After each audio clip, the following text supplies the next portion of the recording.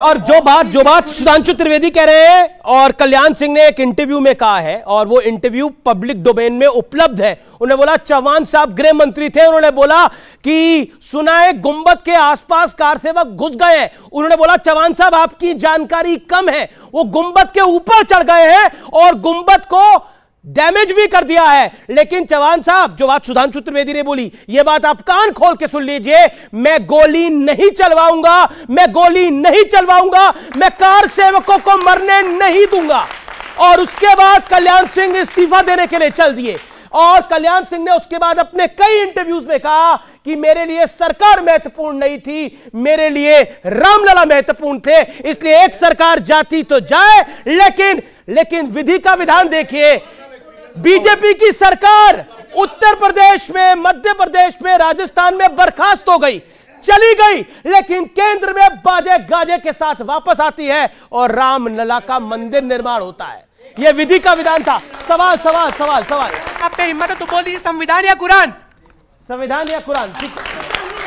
जवाब जवाब एक सेकंड। भाई उनका सवाल है उस बच्चे का सवाल है जवाब जवाब। दस इसका जवाब एक सेकंड सुधान नहीं सुधांशु पहले शोएब जवाई जवाब देंगे डॉक्टर जवाई। आप एक अच्छे पति हैं या एक अच्छे बेटे हैं अपने माँ के? आप बोले हैं कि मैं एक अच्छा आप अपने माँ के लिए एक अच्छा बेटा हैं या आप अपने अपनी बीवी के लिए एक अच्छे माँ का जो अच्छा बेटा होगा वही अच्छा पति होगा। हाँ। है ना होगा। यानी एक व्यक्ति एक वक्त में एक अच्छा पति भी हो सकता है एक अच्छा माँ के लिए बेटा भी हो सकता है और अपने बच्चों के लिए अच्छा बाप भी हो।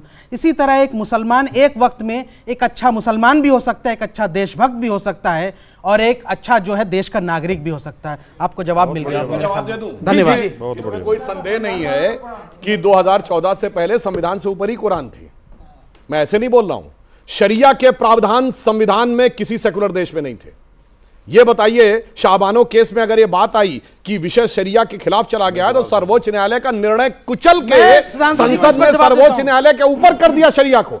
अन्यथा मैं पूछना चाहता हूँ सिर्फ़ मुस्लिम देशों में यह होता था अन्यथा एक सेकुलर देश मुझे बता दें जहाँ ट्रिपल तलाक हलाला मेहरम हज सब्सिडी वक्फ बोर्ड और शरिया सुप्रीम कोर्ट से ऊपर होता हो।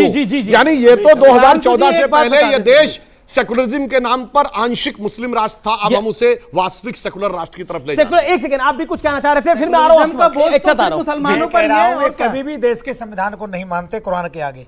जब उनको पूछा जाएगा कुरान के संविधान तो एक बार ने तीन बार कहेंगे कुरान। अभी सुधांशु जी ने कहा कि कुरान के कारण इस्लाम के कारण लोकसभा में प्रस्ताव लाया गया एक महिला के कारण। तो इसलिए संविधान में कोई विश्वास इनका था ना होगा। देखो एक सच्चा धार्मिक आदमी ही संविधान को मानता है। अगर आपकी सच्चा धार्मिक होगा तो। तब। मैं अगर सच्चा मुसलमान नहीं हूँ मैं अगर सच्चा मुसलमान नहीं हूँ तो राष्ट्रवादी भी नहीं हो सकता।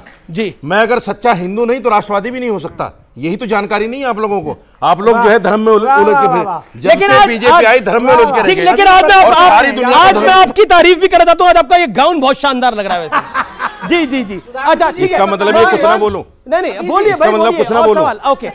आप तो देवानंद को फॉलो करते हैं देवानंद की याद आ गई। ये बताइए जब हमारे वैज्ञानिक अंतरिक्ष या प्रयोग करने से पहले क्यों मंदिरों में जाके पत्थर टेकते हैं ये बता बहुत बढ़िया सवाल बहुत बढ़िया सवाल। ये अब अब अब देखिए देखिए देखिए चाहे मून मिशन जाए चाहे सन मिशन जाए चाहे बड़ा साइंटिस्ट हो वो बड़ा डॉक्टर हो वो विघ्नहर्ता गणपति महाराज के पास जाता है। वो संकट मोचक हनुमंतलाल जी महाराज के पास जाता है। बताइए, क्यों कहा जाता है, वर्कतुंड महाकाय सूर्य, कोटि, संप्रभ, निर्विघ्न कुरु मे देव सर्व कार्य सर्वदा? क्यों कहा जाता है? अरे ये कह रहा हूँ। ओके सुधांशु आदि सुधांशु। शक्ति को आप फाइनल वर्ड हैं? Final word Sudhanshu final word final word आदि शक्ति को आप मानते हैं? हमने सबने वो सुना है ना भजन भय प्रकट कपाला दीन दयाला। कौशल्या हितकारी। कौशल्या हितकारी उसमें आगे की लाइन है ब्रह्मांड निकाया निर्मित माया। रोम रोम प्रतिवेद कहें। यानी वेद कहते हैं कि भगवान के रोम रोम से अगणित ब्रह्मांड बनते हैं अगणित माया बनती है।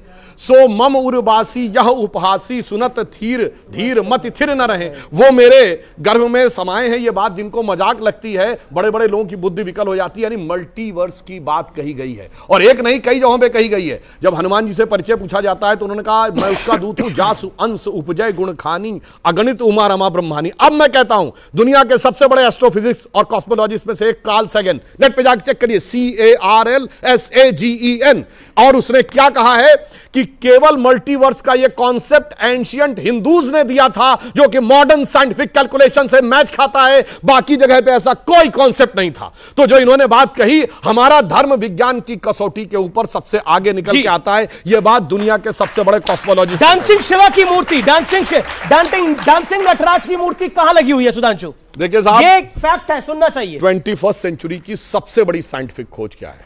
गॉड पार्टिकल जो कि यूरोप की सन लेबोरेटरी में खोजी गई। Yes. उसकी लॉबी में जाइए तो वहाँ के ऊपर एक डांसिंग शिवा नटराज की मूर्ति जो तंजावुर तमिलनाडु वाली नटराज की मूर्ति है वह लगी है। और उसके नीचे ऑस्ट्रियन साइंटिस्ट फिट्जे कैपरा का कोट लिखा है कि वहाँ क्यों लगी है? क्योंकि उन्होंने कहा कि now the science comes to the conclusion that the perpetual creation and destruction of universe is like the cosmic dance of Shiva दुनिया किसी धर्म में नहीं था कि अनंत ब्रह्मांड बनते रहते हैं नष्ट होते रहते हैं। जो हमारे यहाँ कहा गया प्रलय आती रहती है पुनः नया सृजन होता रहता है। यह बात और न फिट्जे कैपरा हिंदू है न सन लेबोरेटरी हिंदू है वो भी उसको मान रहे हैं और उससे बड़ी बात है कोई उनसे कह भी नहीं रहा हिंदू बन जाओ। जी जी जी। ये अंतर है फिर ये अंतर है। मेरे को समय यही समाप्त करना पड़ेगा। आप लोग इस चर्चा में आए आपका बहुत बहुत अभिनंदन आप लोगों का बहुत बहुत शुक्रिया। जोरदार तालियाँ इस ऑडियंस के लिए जोरदार तालियाँ हमारे मेहमानों के लिए। फ़िलहाल आज के एडिशन में इतना ही। नमस्कार राम राम जय हिंद।